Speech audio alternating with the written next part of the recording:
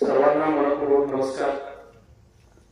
बाल शिवाजी तालीम मंडळाच्या वतीनं आज महात्मा बसवेश्वरांच्या जयंतीचं आणि छत्रपती शिवाजी महाराजांच्या पारंपरिक जयंतीचं औचित्य साधून अक्षय तृतीयेच्या या परमंगळाच्या मुहूर्तावरती आमचे मित्र आदरणीय इमाम पटेल सर आणि आपल्या मंडळाचे सर्व अध्यक्ष कार्यकर्ते यांनी आज हा एक स्तुत्य उपक्रम घडवून आणला खरं तर मनापासून तुम्ही सगळेजण ऐकत आहात. तीन मुलांची भाषणं आपण ऐकले. आणि त्याच्यानंतर आपण मी बोलावं असं मला काही फारसं वाटत नाही. कारण व्यासपीठावरती ज्येष्ठ अभ्यासक छत्रपती शिवाजी महाराजांच्या चरणांचे पैक महाराष्ट्रातल्या अनेक गडबोटांची ज्यांनी भ्रमंती केली तरुणांना ज्यांनी ऊर्जा आणि उत्साह दिला ते आदरणीय रावसाहेब देसाई या ठिकाणी आहेत खाडेसर आहेत. आणि असं प्रेरणास्थान माझ्या जवळ सुद्धा आहे. आणि माझ्यासमोर सुद्धा महाराष्ट्रभर महाराष्ट्राच्या बाहेर येणे हजारो व्याख्यानं दिली.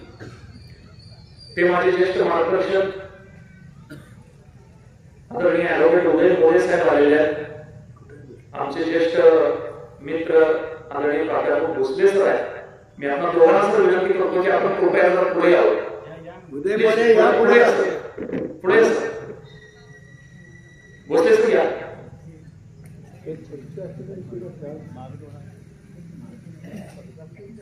खुर्ची असते उदय मध्ये याला काय सांगितलं? माझं लक्ष नाही बरं.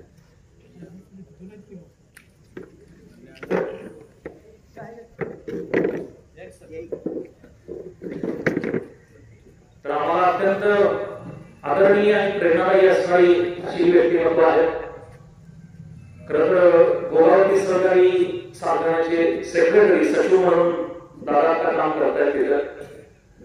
नेहमी प्रत्येक रविवारी महिन्यातून आमची मिटिंग होत असते. वेगवेगळ्या कार्यक्रमावर चर्चा होत असते. तर आज ते इथपर्यंत आले हा तुमच्यासाठी पण. पुढच्या वेळेला मी पटेल सरांना विनंती करतो की पुढच्या व्याख्यानामध्ये जर पुष्पाला आपण मोरे साहेबांना अतिशय धारदार वाणी आहे महाराजांच्या चरित्रावरती निश्चित प्रेम करणारा हा माणूस आहे. आणि महाराष्ट्रावर महाराष्ट्र बाहेर त्याने अनेक व्याख्यानं दिलेली आहे. आणि म्हणून महाराष्ट्र तुम्हाला म्हटलं की आता तीन मुलांचं तुम्ही पाच पाच मिनिटांचं ऐकलंय. त्याच्यामुळं तुमचा मी अधिक वेळ घेणार नाही. तुमच्या हृदयाची तार तुटणार नाही आणि मस्तकाची शिर उठणार नाही एवढ्या कमी वेळामध्ये तुमच्याशी संवाद साधण्याचा प्रयत्न करेन. त्या समोर बसलेल्या माझ्या युवक मित्रांचं खरोखर मनापासून कौतुक आहे कारण या तिन्ही मुलांची भाषण बघितली खूप एकाग्रतेने या सगळ्या तरुणांनी ती ऐकली याचा विशेष आनंद आहे. मोजके स्रोत आहेत पण तुम्ही सगळे गर्दीतले नाही सगळे गर्दी आहे हा माझ्या दृष्टीने आनंदाचा भाग आहे. आणि आता आज थोडस विवेचन करण्यासाठी तुम्ही बोलवलंय मी पेशाने एक वकील माणूस आहे खाडे सर. पाच वर्ष मी वकिली केली कोण वाटल्या तुम्ही? दहा पंधरा वर्षांपूर्वी.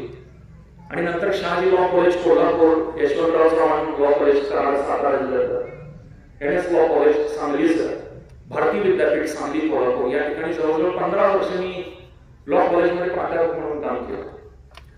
आणि अशा एका वकील माणसाला तुम्ही व्याख्यानासाठी आज निमंत्रित केलं. आणि गेले काही दिवस जरा व्याख्यान सातत्यानं सुरू असल्यामुळे आणि थोडस विकनेस असल्यामुळे आज निर्णय घेतला पटेल सरांना सांगितलं की मी आज जरा बसून संवाद साधतो. मग आता वकील माणूस मग ही माणसं तुम्हाला प्रश्न पडेल बॉस सगळ्यांनाच प्रश्न पडतो वकील म्हटल्यानंतर ही माणसं खरं राहू द्या किमान बरं तरी बोलतात का अशी शंका लोकांच्या मनामध्ये असते. पण वकील असलो तरी देवाशब्द जे काही सांगेल ते खरं सांगेल खोटा अजिबात सांगणार त्याच्यामुळे तुम्ही अगदी मोजका वेळ तुमचा मी घेणार आहे.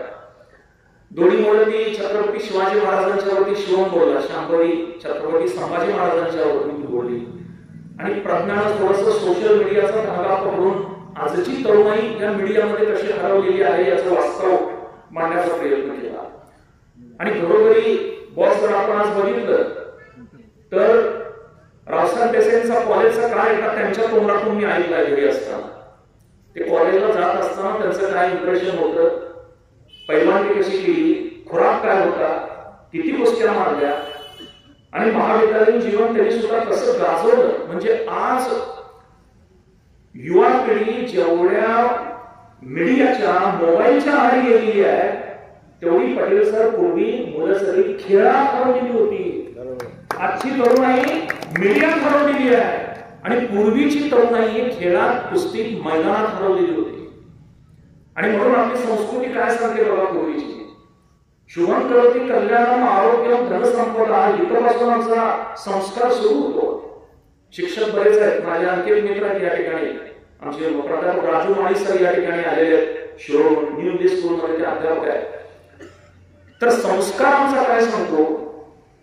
पूर्वी सकाळी उठल्यानंतर पहिल्यांदा हातांचं रक्षण घ्यावं असं संस्कृतीमध्ये सांगितलंय. आपल्या हातांकडे बघावं आणि काय म्हणावं? कराग्रे वसते लक्षणी. करमध्ये सरस्वती. कर म्हणजे तो गोविंदम प्रभाते करदर्शनम असं आमच्या संस्कृतीमध्ये सांगितलेलं आहे.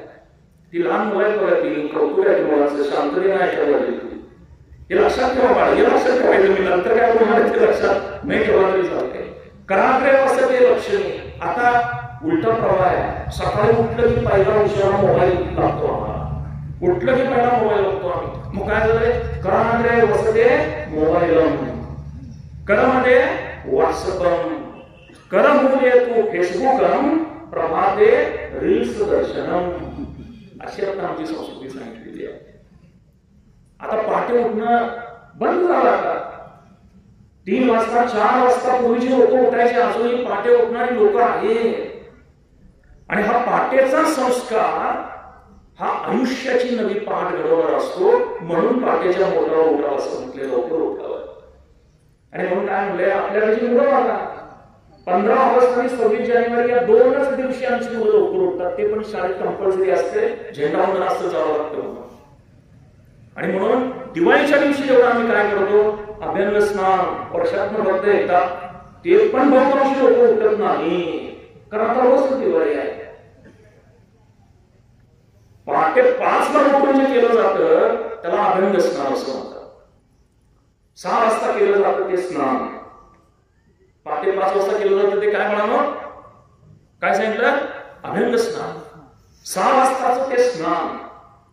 सात वाजता केली जाते ती आंघोळ आणि आठ नंतर मग ह्याला धुतला आणि वेळा धुतला या दोन्ही एकच. म्हणजे त्याच्यानंतर काय बोलायची सोय नाही. आणि म्हणून लवकर उठे लवकर निघे त्याला आरोग्य ज्ञान संपत्ती भेटेल असं आम्हाला आमची संस्कृती सांगते. आणि पूर्वीच्या आमच्या आजी आजोबांनी आमच्या पूर्वजांनी हे संस्कार पिढीला दिलेले होते. आता ते हरवत चाललेली आमचे वडील शिक्षक होते प्राथमिक शिक्षक होते माझे वडील.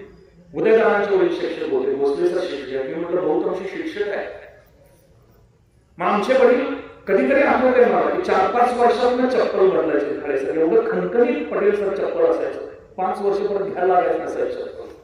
आणि दारात त्या चपलाचा आवाज वाजला की आज स्वयंपाकघरापर्यंत शांतता निर्माण व्हायची. कडक शिस्तीची होती होती आता आम्ही पण बाप आहे. स्वयंपाकघरापर्यंत आपल्याकडे बाप आता आला तरी कुणात काही फरक पडत नाही. आता वचकच नाही. धाकच राहिलेलं नाही. अखंड हाताला आता तरी काही वाटत नाही. प्रत्येक जण मोबाईल मध्ये आहे. आणि ही जी पूर्वीची संस्कृती होती ही हरवत गेले सगळे दिवस. आजी होती घरामध्ये आजोबा होते रामायण महाराजातल्या गोष्टी सांगितल्या जायच्या. त्या ऐकल्या जायच्या मुलांना ऐकवल्या जायच्या. आणि त्याच्यामुळे घरामध्येच काय व्हायचं? नाचा नारायण व्हायचा आणि नारीची निरा व्हायची. एवढी ताकद आमच्या आजीवरांच्या संस्कारामध्ये होती. आता कुटुंब विभक्त झाली आता. आणि मग हम दो हमारे दो आजी आजोबा को भेद दो असा जमाना जमाना अशी नवी संस्कृती आता अस्तित्वात पूर्वी बघा की किती साधं होतं आपली कुटुंब व्यवस्था आपलं घर. कुठल्याही प्रकारचा डामडौल अवलंबर प्रदर्शन दिखावा असं काही होतं घर साधी होती माणसं साधी होती. पण संस्कार होता घरामध्ये मी लहानपणी आठवत मला की ज्या त्या शिरोच्या राजाराम शाळेमध्ये जायचो मी घरापासून देशिंकरांच्या वाड्यामध्ये पहिला बॉस राजाराम शाळा भरायची तिथपर्यंत चालत जायचो सावंत सरांनी. आणि तो चालत जाण्यातला शाळेला चालत जाण्यातला आनंद एक वेगळा होता. वडील शिक्षक होते कधीतरी त्यांच्या सायकलवर बसायला मिळायचं पण येऊन चालत जायचं. आणि घरामधलं जेवण अत्यंत साधं होतं पण त्याच्यात सत्व होतं त्याच्यामध्ये ताकद होती. आईचे जेवण बनवायचे. ही भाकरी त्या श्रावणातल्या शेंगा. आज फाईव्ह स्टार हॉटेलमध्ये गेलो आपण. तरी त्या समाधान त्या समाधानाचा दर्जा त्या समाधानाची चव आज आपल्याला मिळत नाही. आणि ते अकत्य होतं प्रेम होतं आपुलकी होती जिव्हाळा होता. आता अंतर पडत चाललं. आता साधनं खूप सारी आपल्याकडं. आपल्या प्रत्येकाच्या घरामध्ये सगळी साधनं आहेत वॉशिंग मशीन आहे फ्रीज आहे केबल आहे किंवा डिश आहे सगळं साधं होतं. पूर्वी तिन्हीचं कौतुक वाटायचं आम्हाला. आम्ही ज्या वेळेला लहान होतो. मला आठवतं एकोणीसशे चौऱ्याऐंशी आम्ही चौथीला किंवा पाचवीला असतं. एकोणीसशे चौऱ्याऐंशी साली. आणि पटेल सर उदयदादा इंदिरा गांधींचा त्यावेळेला हत्या झालेली होती. आणि ते दृश्य बघायला सगळं गाव आमचं शिरोगाव सगळं मोठं होतं. शिरोमध्ये फक्त तीन टीव्ही होते एक भुरामीच्या रोजी एक टीव्ही होता. दुसरा देशिंगरांच्या वाड्यात एक होता. आणि आणखी एक असे तीन टीव्ही. सदाशिव देशपांडे बरोबर. असं तीन घरामध्ये टीव्ही होते. तर ती इंदिरा गांधींची झालेली हत्या आणि ते दृश्य बघायला आम्ही चालत सगळं गाव उठलो होता होता म्हणजे हे सगळं जुनं होतं. आणि त्यावेळेला दूरदर्शन होतं. आत्ताचं हे सगळं कलर्स वेगवेगळे चॅनल्स ह्या गोष्टी काही नव्हत्या. फक्त नॅशनल चॅनल टीव्हीवरचा तो बुधवारचा चित्रहार गाण्यांचा कार्यक्रम म्हणजे आनंदी आनंद होता. रविवारचा रामायण महाभारत पाहायला रस्ते ओस पडायचे अक्षरशः. रस्त्यावरती गर्दी नसायची. इतकं त्यावेळेला सगळं वातावरण फारलेलं असायचं. म्हणजे पूर्वीच्या त्या वातावरणामध्ये एक ताकद होती सामर्थ्य होत. आता दिवस बदलले. आता जमाना बदलला. आता काळ बदलला. आता सगळे सुशांत वेगानं आपण धावत सुटलेलो इतके गतिमान झालोय यांनी भौतिकतेच्या समृद्धीच्या पैशाच्या श्रीमंतीच्या मागे इतके गतिमान झालोय आम्ही की आता मला स्वतःच्या श्वासाकडे बघायला सुद्धा पोचत नाही. पाच मिनिटे शांततेनं बसून आम्ही स्थिर श्वास घेऊ शकत नाही. पाणी पिताना सुद्धा आम्ही उभ्या उभ्या पितो. शांतपणे बसून प्यायला आमच्याजवळ वेळ नाही. दप्तर धावपळ ताण तणाव टेन्शन मग भीती शुगर गुडघेदुखी सांधेदुखी हे सगळं एवढ्या वेगानं येऊन आदळलेलं आहे. खरं तर तुम्ही आणि मी खूप भाग्यवान आहे. ही सगळी स्टेजवर बसलेली मंडळी सुद्धा आणि समोरचे तुम्ही सुद्धा आज आपण या आजच्या दहा मेच्या दिवशी या अक्षय तृतीयेच्या दिवशी मी बसून सांगतोय तुम्ही बसून ऐकताय. हे भाग्य आपल्या वाट्याला का आलं? त्या कोरोनाच्या महाप्रलयंकारी महाभयंकर लाटेतनं आपण सगळेजण वाचलो. म्हणून आज आपण आहे आणि आता भली भली अतिशय धिप्पाड सुदृढ चांगली सात्विक असणारी माणसं त्या कोरोनाच्या वाटेनं निघून गेली. आणि मग त्या कोरोना आम्हाला जाणीव दिली. माणसाला आत्मभान दिलं. स्वतःच्या आतमध्ये डोकवायला लावलं. कारण आम्ही इतके सुसाट सुटलो होतो की निसर्गाला आम्हाला थांबवलं. चिंतन करायला लावलं आत्मचिंतन करायला लावलं. आता तरी माणसात जागा होऊन सांगितलं स्वतःकडे लक्ष द्यायला लावलं आणि म्हणून मी आपल्या सगळ्यांना आवाहन करतो खरं तर हा शिवजयंतीच्या उत्सवाचा क्षण आहे. महात्मा बसवेश्वरांच्या जयंतीच्या उत्सवाचा क्षण आहे. आणि तरी सुद्धा थोडस तुमच्या माझ्या वैयक्तिक जीवनाबद्दल बोलण्याचं कारण असं की आता आपल्याला जे काही आयुष्य प्राप्त झालंय ते खरं तर आम्ही उर्वरित आयुष्याचा आजचा पहिलाच दिवस आहे. तसं बघायला गेलं तर झालेलं गेला भूतकाळ गेला. मात्र राहिलेलं जे काय आयुष्य आहे आमचं त्याचा आजचा पहिला दिवस आहे. आणि म्हणून या अक्षय तृतीयेच्या दिवशी या शुभ मुहूर्तावर आपल्या उर्वरित आयुष्याला आपण एका नव्या जिद्दीला एका नव्या संकल्पानं आणि एका नव्या उत्साहानं एका नव्या ऊर्जेनं सामोरं जाऊया याच्यासाठी ही मागची थोडीशी पार्श्वभूमी मी आपल्याला समोर कथन केली. कारण मी मागाशी म्हणालो तसं ताणतणाव इतके वाढलेले आहेत. आज रावसाहेब देसाईंचं वय पंच्याहत्तर प्लस आहे सेव्हन्टी फाईव्ह प्लस आहे. मागाशी पटेल सर म्हणजे देसाई साहेबांनी शतक पूर्ण करावं आणि शतकाच्या वेळेला सुद्धा सत्कार करायचं भाग्य आम्हाला गावकरांना म्हणजे दोन्ही योग त्यांनी साधलेले आहेत. तुम्ही पण आहे आम्ही पण आहे आणि खरोखर ती ताकद अजून रावसाहेब देसाईंच्या जवळ आहे. तर ही जुनी बुजुर्ग माणसं बघितली. गावात गावचं एक वैशिष्ट्य असं आहे. मी काय नौका नाही आहे गावामध्ये. सांगायला तुम्हाला सगळ्यांना मला आनंद वाटतो. भोसले सर माझं पहिलं व्याख्यान घालवाडमध्ये मी दिलेलं आहे. बी ए फर्स्टला असताना बी ए फर्स्ट इयरला असताना पहिलं व्याख्यान याच घरवाडा गावामध्ये दिलेलं आहे. आणि त्याच्यामुळं इथल्या मातीत जो आला तो महाराष्ट्राचा होतो एवढा पक्का आहे इतकी ताकद या मातीची आहे. आणि त्याच्यानंतर मी बोललो महाराष्ट्रातल्या अनेक नामांकित व्यासपीठांवरून बोललो. मग अगदी कोल्हापूरपासून सोलापूर बारामती पुणे मुंबई कोकणचा सगळा पट्टा जळगाव विदर्भ मराठवाड्यापर्यंत व्याख्यानं देऊन आलो. पण माझ्या आयुष्यातल्या व्याख्यानांची सुरुवात ही घालवाच्या मातीत झाली होती हे मला विशेषत्वानं नमूद करावं असं वाटतं कारण या मातीला सांस्कृतिक ग्रंथ आहे. या मातीला सामाजिक ग्रंथ आहे. या मातीला परंपरा आहे. या मातीला कुस्तीची परंपरा आहे खेळाची परंपरा आहे. आणि म्हणून इथं जो चमकला राजी सरोवर ही तुमच्या गावची आमच्या शिरो तालुक्याची कन्या आहे. की जी देशभरामध्ये चमकली.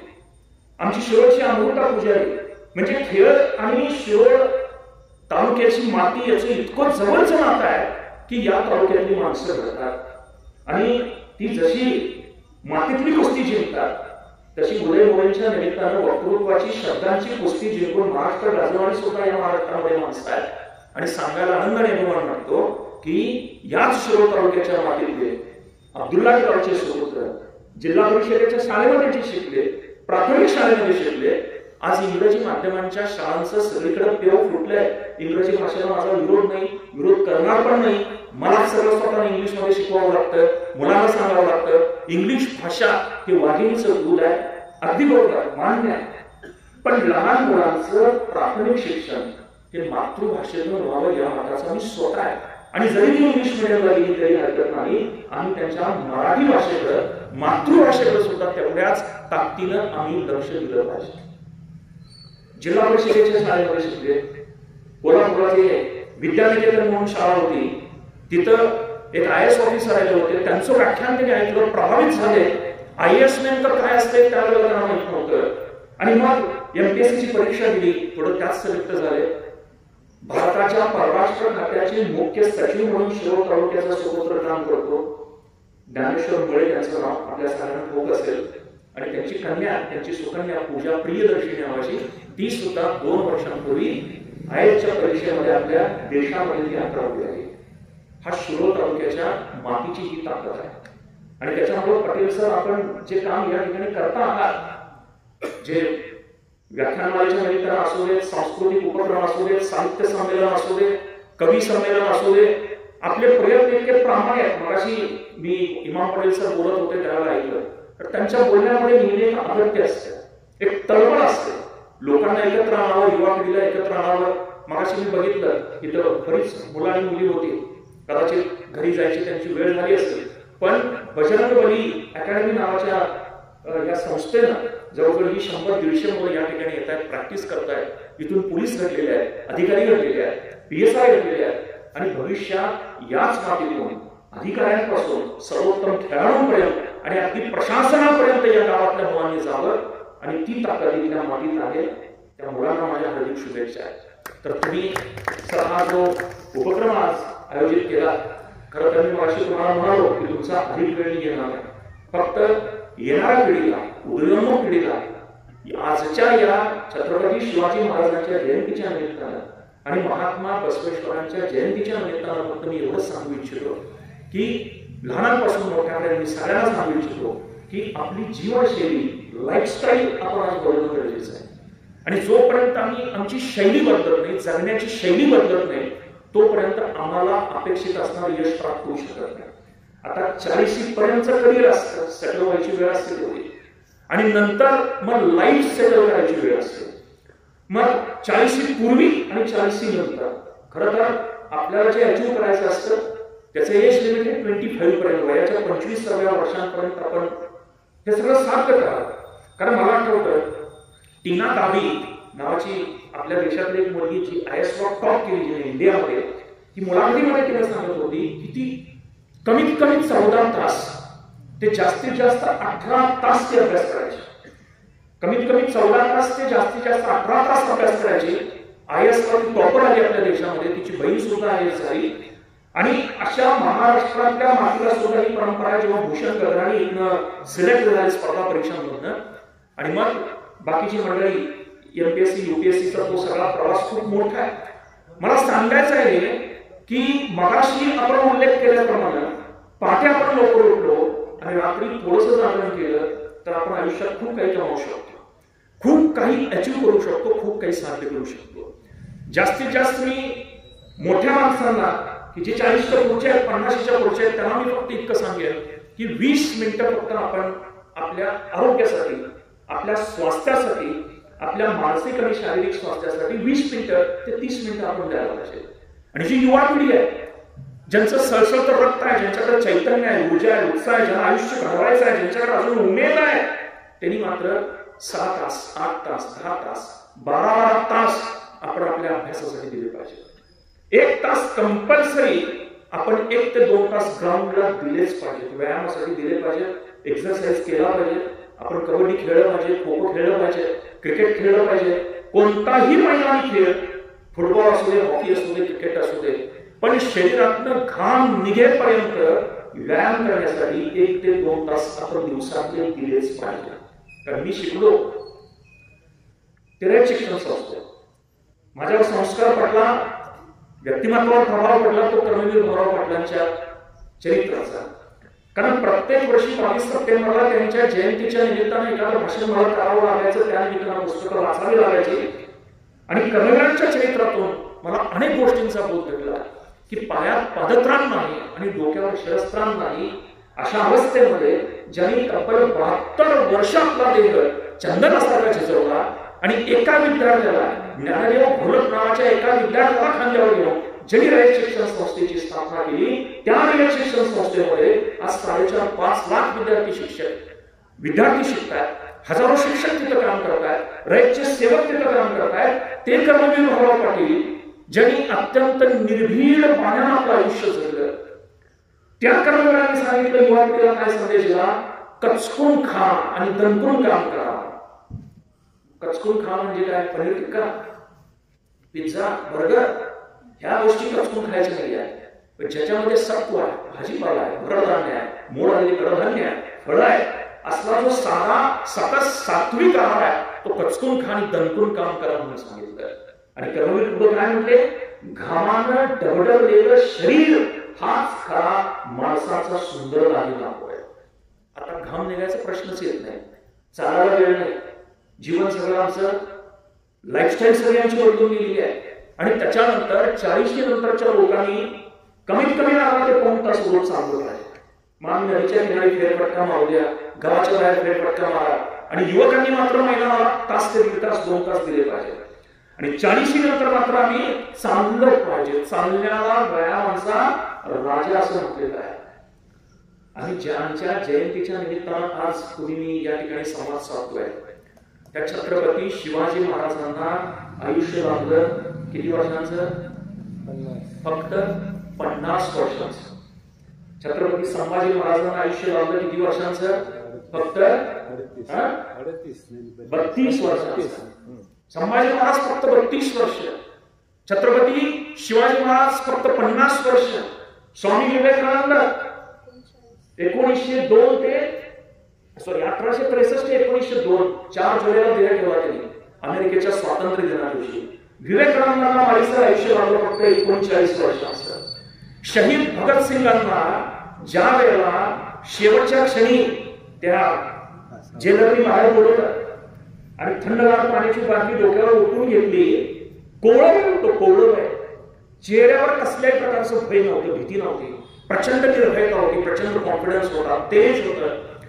आणि त्या फाशी देण्याच्या दिवशी सुद्धा भगतसिंगांच्या मुखामध्ये गीत होतं दम निकले इस देश के खातिर बस इतना अरमान है, एक बार इस राह पे चलना सौ जन्मों के समान है।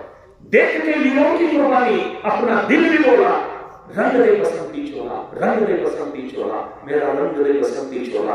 हे गीत गाताना मृत्यूच्या दिवशी भगतसिंगांचं वय होतं पोरं पंचवीस वर्ष सुद्धा भगतसिंगांना पूर्ण झाली. चोवीस वर्ष सहा महिन्यांचं वय आहे. शहीद भगतसिंगांचं तुकाराम महाराज कमी झाले. अहो ज्ञानेश्वर माऊली कितव्या वर्षी संजीवना समाधी घेतली आपल्या सगळ्यांना माहिती आहे? अत्यंत कमी आयुष्यामध्ये खूप मोठं काम ही माणसं सगळी करून दिली जास्त दिवस जगला म्हणजे त्याचं जीवन प्रकार असं नाही. जेवढे दिवस आम्ही जगतो त्यातला प्रत्येक दिवस हा आमचा पुरुषार्थाचा असावा ज्ञानाचा असावा संस्काराचा असावा चरित्र्याचा असावा. आणि म्हणून मी सांगतोय की आता आपण पुढे गेलेल्या मंडळी? मग आम्ही आमच्या येणाऱ्या पिढीला फक्त वारसा आणि विचार द्यायचं काम तरी करूया. या मुलांना आम्ही चांगल्या पुस्तकांपर्यंत घेऊया चांगल्या व्याख्यानांपर्यंत घेऊन जाऊया चांगल्या ग्रंथालयांपर्यंत घेऊन जाऊया चांगल्या माणसांपर्यंत घेऊन जाऊया. आजही जे उत्तम पद्धतीनं प्रशासकीय अधिकारी म्हणून काम करत आहेत ज्या ज्या वेळेला काही जण येतात. Dnyaneshwar मुळेचे classmate Sunil Patil sir Sawant sir उदयनराजकर मी तहसील कलेक्टर होते ते. दोघं मित्र मुळे सरांना मी व्यक्तिशः दोन तीन वेळा भेटलो. सुनील पाटील सुद्धा कलेक्टर होते. ते आले त्यावेळेला माझ्या मुलांची त्यांची मी भेट घालून दिली. जे प्रश- उत्तम प्रशासकीय अधिकारी आज सुद्धा आपल्या महाराष्ट्रामध्ये देशामध्ये काम करत आहेत. अनेक चांगले विचारवंत आहेत. शिक्षण क्षेत्रामध्ये चांगली माणसं आहेत. राजकीय क्षेत्र हे कधी वरचं नव्हतं आणि असणार पण नाही. कारण पहिले ते हरिकथा निरूपण दुसरं येते राज्यकारण तिसरं म्हणजे ते सावधपण सर्व विषयी असं म्हटलंय. त्याच्यामुळे त्याच्याबद्दल वेगळं बोलायची गरज नाही. पण राजकारणाच्या माध्यमात राहून स्वतः चांगलं काम करणारी माणसं टक्केवारी खूपच कमी असेल पण नैतिकता जपणारी माणसं आहे त्या लोकांपर्यंत आपल्या मुलांना घेऊन जाऊया. त्यांना चांगल्या पुस्तकांपर्यंत घेऊन जाऊया. आपल्या घरामध्ये बाकी काही नसलं तर चालेल. मगाशी म्हटलं की TV fridge washing machine AC cooler सगळी सुखाची साधन आहे पण परंपरा आणि संस्कृती जपण्याचं काम मगाशी मी पटेल बरोबर चर्चा करताना राजू थोडसाहेब आपल्याला खूप दिवसांपूर्वी बघितलं होता. किती वर्षानंतर तुमची भेट झाली. मर्दानी खेळ जिवंत ठेवण्याचं काम महाराष्ट्रामध्ये आपण करताय. आणि मला वाटतं तुमच्या हृदयावर आघात होऊन सुद्धा तुम्ही हार मानली नाही. ही गव्हाच्या मातीची ताकद आहे. त्यातनं सुद्धा तुम्ही आज नव्या पिढीला हा वारसा देण्याचं काम करताय. आणि म्हणून समाजात जिथं जिथं चांगलं कार्य सुरू आहे तिथं पर्यंत आपल्या मुलांना घेऊन जाऊया. आज मी पटेल सर व्याख्यानाला संख्या किती असते या आयुष्यात कधी मोजलं नाही. माझ्या गुरुनी एकटाच सांगितलं होतं मला एक जरी श्रोता समोर असला पण त्याच्यामध्ये सावंत सर त्याच्या मनात जर तळमळ असली भाव असला तर एकासाठी एक तास तुम्हाला द्यावा लागेल. म्हणून किती संख्या आहे ह्याला किती महत्त्व नसतं. ज्ञानेश्वरांनी ज्या वेळेला ज्ञानेश्वरी सांगितली तुकोबांनी गाथा सांगितली त्यावेळेला कोण होतं सगळं? पण पेरलेलं सात आठशे वर्षांपूर्वी पेरलेलं ते उघडच आहे. आज सुद्धा या महाराष्ट्राच्या मातीमध्ये ते पीक येतच आहे. भक्तिभावांना आमचा मळा पंढरपूरचा असू दे महाराष्ट्राच्या मातीचा असू दे कायम फुललेलाच आहे. पेरलेलं चांगलं पेरलेलं ते कधीही वाया जात नाही. ते कुठे ना कुठे चांगल्या पद्धतीने उपलब्ध आणि म्हणून मी आपल्याला सांगतो की आमच्या घरामध्ये सुखाची साधनं म्हणजे कमी असली तरी चालते. आमच्याकडे मोबाईल असतो पस्तीस हजाराचा पन्नास हजाराचा Samsung Galaxy standard standard company. Apple one two three four मागं पडला. आता पुढचे सगळे ऍडव्हान्स मॉडेल यायला लागले. हरकत नाही आहे पण त्याच्याबरोबर किमान एक पाच चांगली पुस्तकं एक दहा चांगली पुस्तकं माझ्या घरामध्ये असावी. श्यामची आई नावाचं पुस्तक मी माझ्या मुलांच्या हातात जरूर द्यावं. साने गुरुजींनी लिहिलेलं पुस्तक आहे. ते पुस्तक वाचताना जर डोळ्यात पाणी आलं नाही तर तो माणूस सुटेल. इतकं सदगतीत अंतर करणारं इतकं मनाच्या कोमलतेनं साने गुरुजींनी ते पुस्तक लिहिलेलं आहे. श्यामची आई पुस्तक आमच्याकडे असावं. माती पंख आणि आकाश हे ज्ञानेश्वर मुळेचं पुस्तक आमच्या घरामध्ये असावं. तुकोबांची गाथा आमच्या घरामध्ये असावी कारण ज्याच्या घरात तुकोबाची गाथा त्याच्या कमरेत घाला दोन गाथा इतकं संतांनी पोट सांगितलंय. संतांचे ग्रंथ आमच्या घरामध्ये असावे. विवेकानंद आमच्या घरामध्ये असावे. आमच्या घरामध्ये महावीर असावे. आमच्या घरामध्ये बुद्ध असावे. आमच्या घरामध्ये आपली कोणाची प्रत असावी. म्हणून कोरोनाच्या लागणं शिकवलं सगळं विसरायला भाग पडलं आपल्याला. मी कुठल्या जातीचा आहे धर्माचा आहे सगळं विसरायला भाग पडलं. आणि बघितलं मी ते व्हिडिओ ते स्मशानामध्ये प्रेतांना जायला माणसं मिळत नव्हती. धडाधड चिता पेटलेल्या होत्या. माणूस सगळी स्वतःची जात धर्म पंत विसरून गेला आणि अक्षरशः मुस्लिम बांधवांनी हिंदूंना खांदा दिला. हिंदूंनी मुस्लिमांना खांदा दिला. आणि मी काय कशाचं दर्शन घडवलं? धर्म जाती प्रांत भाषा भेद सारे संपवले. एक निष्ठा एक भाषा एक रंगी रंगोळे आणि पुन्हा पसरो मनावर शुद्धतेचे सांगणे माणसाने माणसाशी माणसाश्रम वागणे माणसाने माणसाशी माणसाश्रम वागणे. शेवटी यायचा प्रवास तो इकडे आहे. वैयक्तिक जीवनामध्ये मी कुठं आहे? मी कुठल्या पदावर आहे? हा अहंकार बाळगण्यापेक्षा शेवटी या देहाची पाठीवर राख होणार आहे आणि मातीच होणार आहे. हे अंतिम सत्य ज्याला कायम ठोक असतं तो कधीही अहंकाराची बाधा त्याला होत नाही. तो नम्रतेला राहतो तो संस्काराला राहतो तो चारित्र्याला राहतो तो पावित्र्याला राहतो आणि आपलं काम झाल्यानंतर आपली जबाबदारी पूर्ण झाल्यानंतर पुन्हा समाजाचं उत्तरदायित्व मी काहीतरी देणं लागतो म्हणून त्या उत्तराई राहण्याच्या प्रयत्नामध्ये तो पुन्हा असतो? अन्यथा काय गरज होती? ज्या माऊलीला नवऱ्याला प्रचंड छळलं जनावरांच्या पोटात फेकून दिलं पोटात मूल होत कसलीही दयामाया केली नाही आणि तिथंच ती बाई पालन झाली. त्या गाय जनावरांच्या त्या गोठ्यातल्या गायीनं त्या मुलाच्या अंगावरची सगळी घाण साफ केली. स्वतःची नाळ दगडानं ठेचून आपल्याला मुलापासून बाजूला केलं आणि तिथंच निर्णय घेतला की महाराष्ट्रात या देशात अशी किती मुलं असतील ज्यांच्या वाट्याला उपेक्षा येत असेल. आज माझ्या मुलाच्या वाट्याला असा जन्म आल्या उद्या महाराष्ट्रातल्या पोरांच्या वाट्याला असं येऊ देणार नाही या निश्चयानं. या महाराष्ट्रातल्या अडीच तीन हजार मुलांचं संगोपन केलं की सिंधुताई सरकार कोणत्या हक्काच्या नात्याने मुलांचा सांभाळ केला? कोणतं नातं होतं? आणि पुन्हा निरपेक्ष भावना त्या महाराष्ट्र हिंदत राहिल्या. त्यांच्या पुढ्यात त्यांच्या बरोबर दोन तीन ठिकाणी व्याख्यान द्यायचा मला योग आला. घरी सुद्धा सिंधुताई सरकार आल्या होत्या. आपण आमतीर्थकर आल्या होत्या. म्हणजे ही सगळी काया झिजवणारी माणसं. महापुरुष किंवा संतांच्या सगळ्या जीवनाकडे बघितलं आपण छत्रपतींचा इतिहास खूप मोठा आहे थोडा तुम्ही ऐकलेला आहे. पण छत्रपतींच्या चरित्राबद्दल आपल्याला बरंच काही माहिती आहे. महात्मा बसवेश्वरांच्या चरित्राबद्दल आपल्याला माहिती आहे. पण या सगळ्या महापुरुषांनी ज्ञानेश्वरांपासून विवेकानंदांपर्यंत आणि संत तुकारामांपासून संत कबीरांपर्यंत विवेकानंद असतील बुद्ध असतील महावीर असतील बसवेश्वर असतील या सगळ्यांनी आम्हाला जगण्याचा एक सारा सोपा मंत्र दिला. काय? सत्यमेव जयते. सत्यम एव जयते. जो सत्याच्या मार्गावर आहे. त्याला गरज नाही तो निर्भयच असतो शेवटपर्यंत. आणि म्हणून बसवेश्वरांचं चरित्र आज या जयंतीच्या निमित्तानं केव्हा त्यांनी त्या द्यावं कारण बाराव्या शतकातला त्यांचा जन्म आहे अकराशे एकतीसचा. अकराशे एकतीस मगाशी मी म्हणालो की छत्रपती शिवाजी महाराजांना पन्नास वर्षांचं आयुष्य लागलं बसवेश्वर महाराजांना छत्तीस वर्षांचं आयुष्य लागलं अकराशे एकतीस ते अकराशे सदुसष्ट छत्तीस वर्षांचं आयुष्य आहे.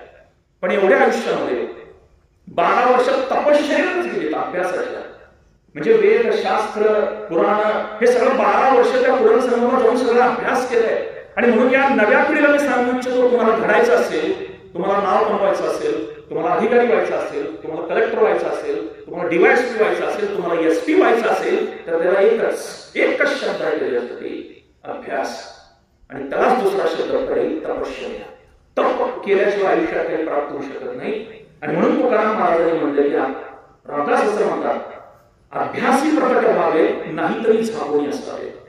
आणि तुकाराम महाराजांनी असं सांगितलंय असाध्य ते साध्य करीता सायास कारण अभ्यास तुकाम आहे. असाध्य ते असाध्य गोष्ट जर आम्हाला साध्य करायची असेल तर त्याला तपश्चर्या आणि अभ्यास हा एकच पर्याय आहे. आणि ज्या घरातली मी ही तपश्चर्या करताय ज्या घरातली मुलं ही तास तास अभ्यास करतायत त्या घरातलं मूल मोठं होणार ते महाराष्ट्राने देशाचं नाव करणार हे सांगायला कुठल्या ज्योतिषाची आवश्यकता नाही. पालक म्हणून आमची जबाबदारी एवढी आहे की त्यांना आम्ही चांगले संस्कार द्यावेत त्यांना चांगले ग्रंथ द्यावेत चांगले विचार द्यावेत चांगले शिक्षक जोडून द्यावेत त्यांच्या पाठीवरून हात फिरवावा. मुलांना अजिबात आपण त्यांना जिवारी लागेल असं बोलू नये तसा काळ राहिलेला नाही. मुलांच्या कलानं जावं लागतं त्यांना समजून घ्यावं लागतं त्याला हँडल करावं लागतं. आणि क्वचित प्रसंगी बाप म्हणून थोडासा वचक असावा. थोडसा ध्यान तपस्या थोडासा वचक पाहिजे पण ताबडतोब ऍडजस्ट करून सांभाळून सुद्धा मुलांना घेता आलं पाहिजे. अन्यथा मुलांच्या मनामध्ये एक निगेटिव्ह ऍटिट्यूड एक निगेटिव्ह मेंटॅलिटी तयार होते. आणि म्हणून मुलं ही आपल्या देशाची राष्ट्रीय संपत्ती आहे. ती आपल्या घराची कुटुंबाची संपत्ती आहे. आणि म्हणून त्यांच्या व्यक्तिमत्वाकडे आपण विशेष आपण लक्ष देण्याची जरुरी आहे. आणि म्हणून मागाशी मी मागासपासून वारंवार एक गोष्ट सांगतोय की येणाऱ्या पिढीकडे लक्ष देऊया. त्यांच्या कलानं घेऊया आणि ज्या वेळेला मी मुलांची बाजू घेऊन सांगतोय की मुलांची बाजू घेऊन सांगतोय पालकांनी त्यांना सपोर्ट करावं. मुलांची सुद्धा तेवढीच जबाबदारी आहे की आपल्या आई वडिलांचा आजी आजोबांचा राहण्याचा मान राखावा. वडील एखाद्या वेळेला रागानं बोलले. समजा एखादी थप्पड जरी मारली बापानं तरी सुद्धा नम्रतेनं ते स्वीकारणं ही आजच्या पिढीचं सुद्धा करता विनाकारण काय बाप हा उचलू शकत नाही. मला सांगितलं की आमचे वडील प्रचंड कडक शिस्तीचे होते. ते जर नसते तर मला मराठी बोलता आलं नसतं मराठी लिहिता आलं नसतं इंग्लिशमध्ये बोलता आलं नसतं. हेतू शुद्ध असतो. बापाचं अंतकरण हे काय? पवित्र आणि निर्मळ असतं. आपलं मूल घडावं वाढावं मोठं व्हावं. हा प्रत्येक आई बापाचा हेतू शुद्ध असतो. आणि म्हणून क्वचित प्रसंगी बाप आपल्याला रागीट वाटला तापट वाटला तरी सुद्धा त्याचं अंतर्करण आईपेक्षा कोमल असतं हे मी आज अगदी अनुभवानं तुम्हाला सांगतो. आणि म्हणून या येणाऱ्या पिढीच्या हातामध्ये आपण चांगली पुस्तकं लिहूया चरित्र लिहूया. अधिक वेळ घ्यावा असा शब्द मी मगाशी तुम्हाला दिलेला होता. नऊ वाजून गेलेले आहे कारण इमाम पाटील सरांनी मला बोलवलंय पण वक्त्यानं वेळेचं भान राखणं गरजेचं आहे. कारण किती बोलावं ह्याच्यापेक्षा त्यांना कुठं थांबावं हे वक्त्याला चांगलं माहीत असलं पाहिजे. काय बोलावं याच्यापेक्षा काय बोलू नये याचं भान पाहिजे. आणि घड्याळाकडे असलं तरी किमान लोकांनी सांगू नये सर कॅलेंडरचं पान पण उघडत नाही. असं थांबला तरी हरकत नाही. अशी सांगायची वेळ वक्त्यावर येऊ नये. कारण व्याख्यान हे एक तासच असतं. कीर्तन बस दोन तासांचं असतं. नाटक खालीसर तीन तासांचं असतं.